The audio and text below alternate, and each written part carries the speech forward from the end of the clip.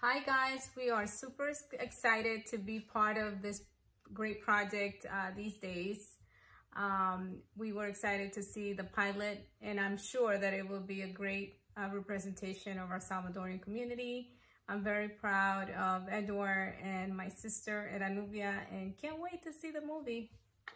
Yeah, again, this is uh, a great way to tell the American story through a, a Salvadoran American perspective.